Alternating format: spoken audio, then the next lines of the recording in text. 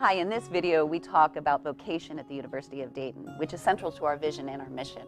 We define vocation as answering a call to discover one's unique gifts and employ those in the service of the public good in ways that are personally satisfying and bring meaning to one's life.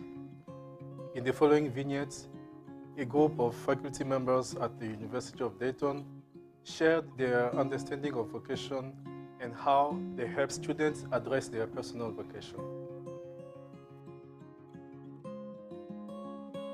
My own story of how I came to find my vocation, I think, relies a lot on sort of happenstance um, and serendipity, both from when I was an undergraduate here at UD throughout graduate school. There were often times where opportunities presented themselves and I had a willingness to say yes, even if I wasn't quite sure what I was saying yes to.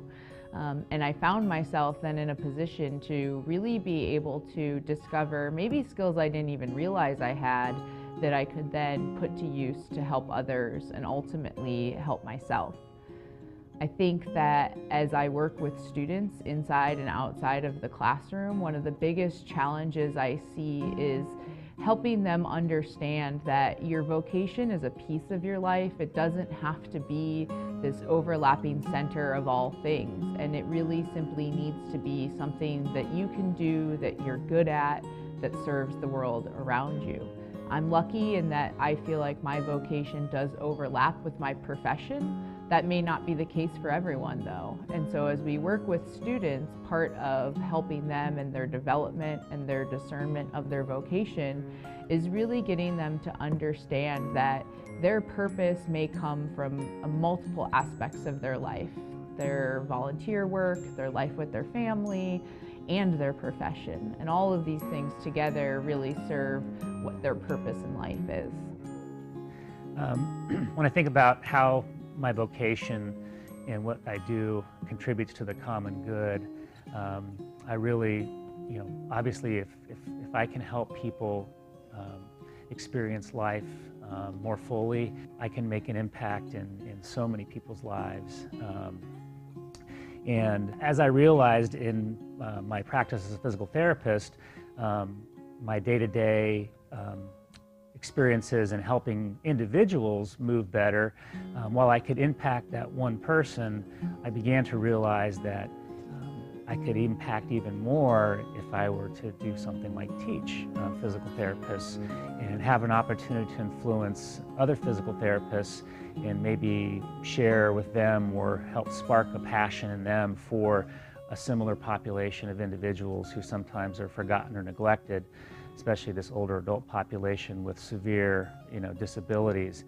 And so um, that also led me to um, considering and, and eventually my career in education and um, teaching teaching students in physical therapy because I realized that was one way I could truly impact a larger, you know, have a larger impact in this in the society. Many students come to the University of Dayton for the community here. And I think part of that community is sharing conversations about things like vocation and expanding their thinking about what a vocation is and what it can be and that it's beyond just what job they choose.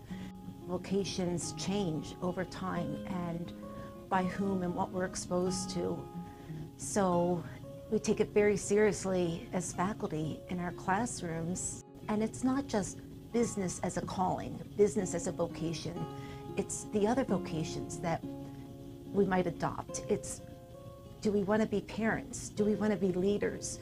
Do we want to get married? I think in our lives it's important to reassess that and think about that and be strategic about it sometimes, but let it come naturally or organically as well. So I think it might help to, to draw a clear distinction between profession and vocation.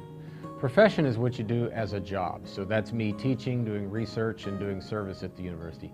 Vocation is broader. Vocation touches on your entire life and utilizes all of your gifts and interests. So profession is kind of a subset of the vocation. My profession is to teach, do research, and do service. My vocation is to try to impact all of the institutions I'm involved with in positive ways. That's really the way I see my vocation. So the University of Dayton has really helped me to understand and form what I believe as uh, my idea of vocation.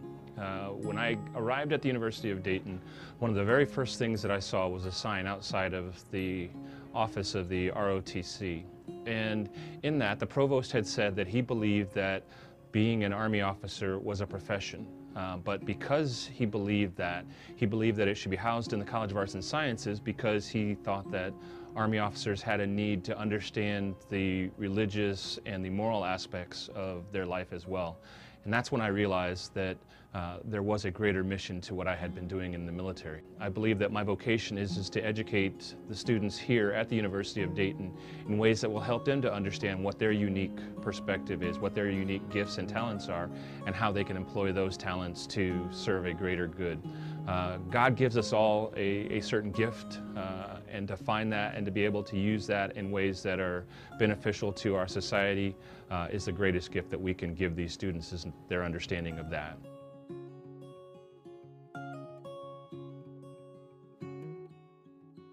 In this video, we presented a definition of vocation as provided by the University of Dayton. We also learned from their experience how members of faculty at the University of Dayton address their personal vocation and how they help students reflect on their own vocation. And so we ask you today to discover your vocation. What are your unique gifts? How do you use them for the common good? And how do they bring personal satisfaction to you in your life?